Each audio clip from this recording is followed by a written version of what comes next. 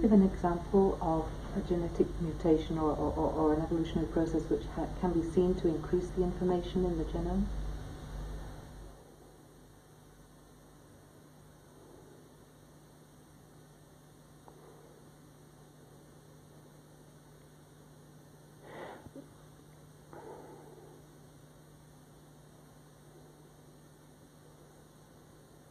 Can you just stop while I think? There's a popular misunderstanding of evolution which says that uh, fish turned into reptiles and reptiles turned into mammals, and, and so somehow we ought to be able to look around the world today and look and look at our ancestors. We ought to be able to to see the intermediates between fish and reptiles and between reptiles and mammals. We ought to be able to see fish kind of on the way to becoming reptiles. But of course, that's not the way it is at all. Fish are modern animals. They're just as modern as we are. They're descended from ancestors, which we're descended from.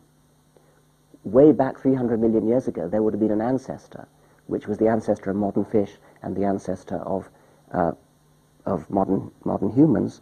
And that ancestor, if you could have been there then, you could have seen the first steps towards a fish, uh, say, coming out onto the, onto the land and, be, and becoming um, becoming a, something like an amphibian. But that was a long time ago. You wouldn't expect to see that today.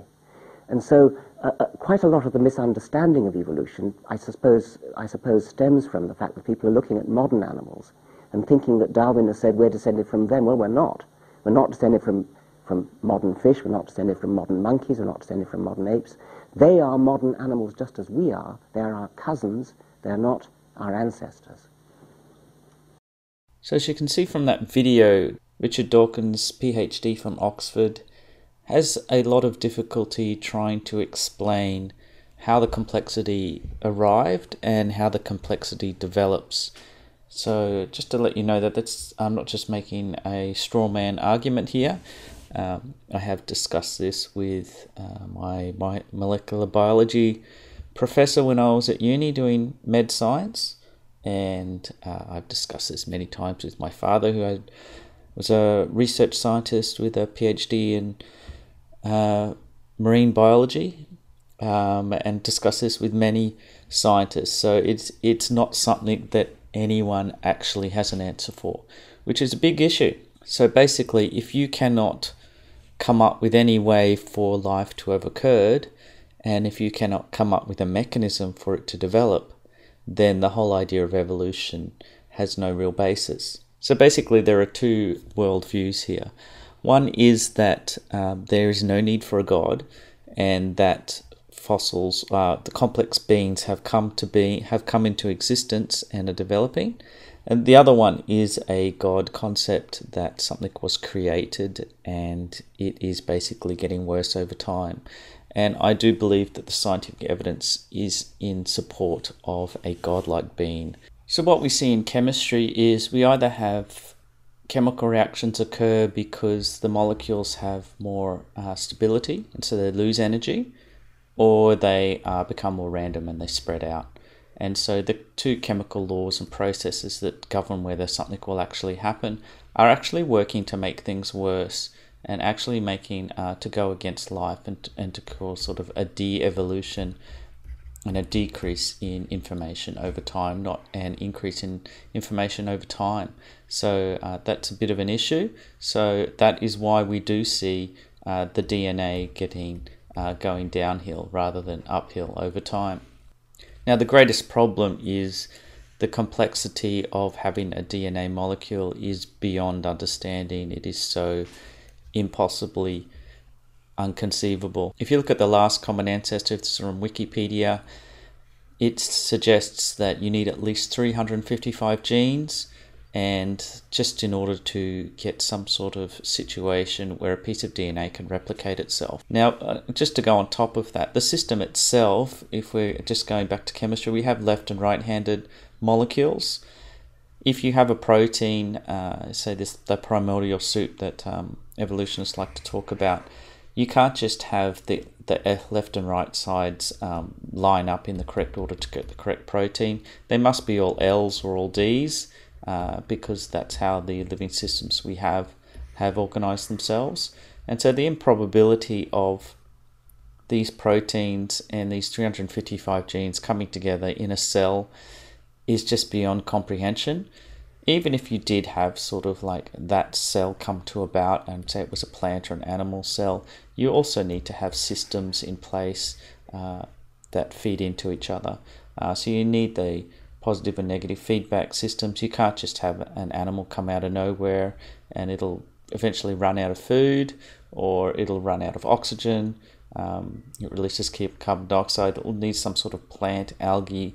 It needs some sort of complex system that goes far beyond just 355 genes uh, in a cell that doesn't, you know, destroy itself and can replicate. And then it needs some way to, you know, to get to more molecules. It's pretty much an all or nothing and the, the probability of the complexity of this ever occurring is just beyond impossible. Now, given that this starting point actually occurred, basically the world is 9 billion years old, you're now asking uh, for endless miracles. You're asking for uh, this cell that has come about, or this thing that's come about, to actually increase in information for no apparent reason. Uh, selective environmental pressures don't help. They don't uh, cause.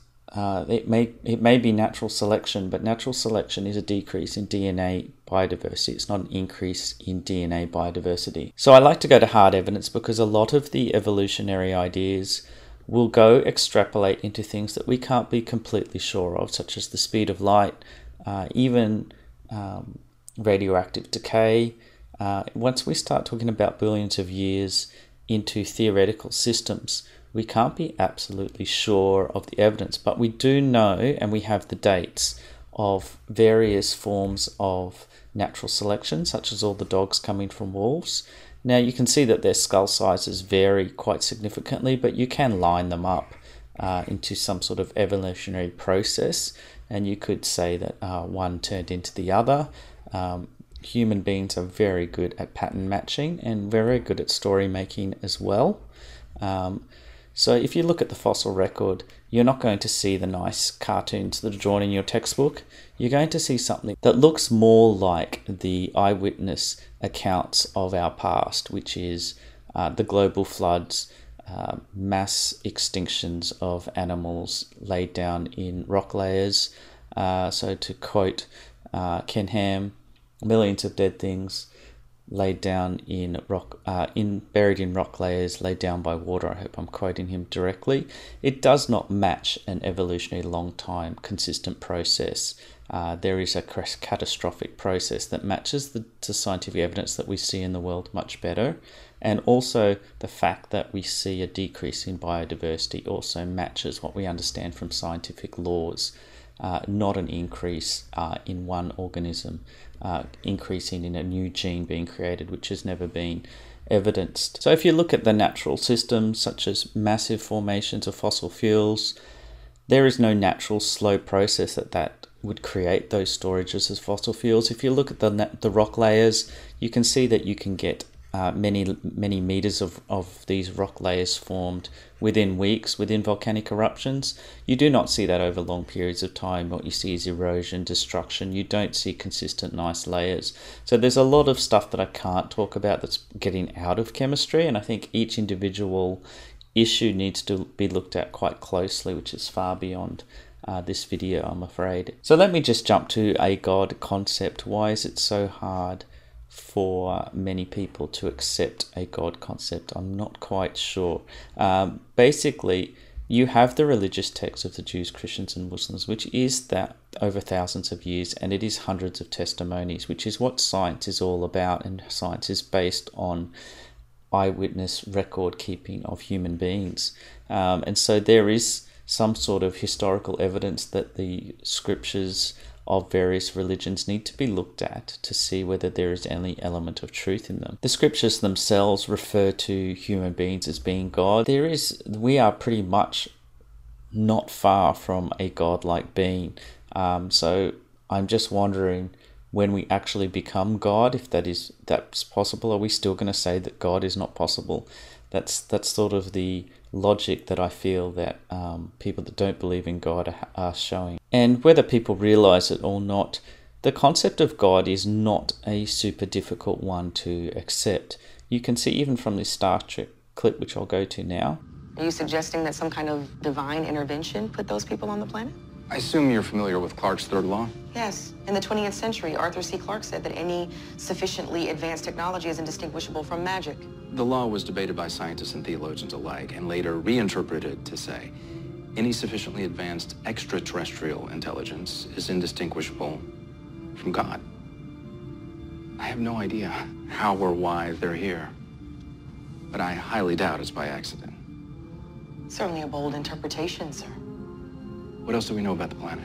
So you can see from that Star Trek clip that in in essence, um, the definition of God is not necessarily uh, so fantastical.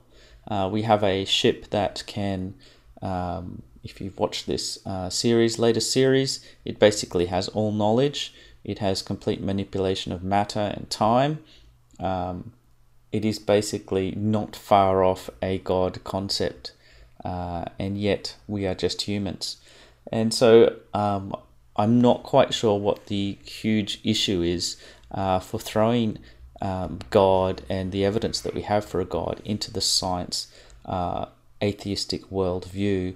So I think there is enough evidence and information and scientific proof to show that there is a need for a God. And basically, without this section here, uh, a lot of the science just doesn't make sense. An evolutionary process, an evolutionary explanation for beginnings doesn't cut with the scientific laws and it doesn't cut with the with the scientific evidence that we have of a god-like being having a part of our history and us ourselves on that very same path. Uh, and so there's there's two sort of worldviews you could use. You could use that in your TOK essay and look at uh, which worldviews uh, you support and which worldviews and how and why. Um, and I hope that's useful. I'm not going to read the comments because there's no possible way I can talk about every single scientific evidence in detail. Uh, this is just an overview, and uh, the evolution creation videos and debates uh, get quite nasty on YouTube, uh, and so I'm going to perhaps turn the comments off. We'll see how we go. All right, thank you.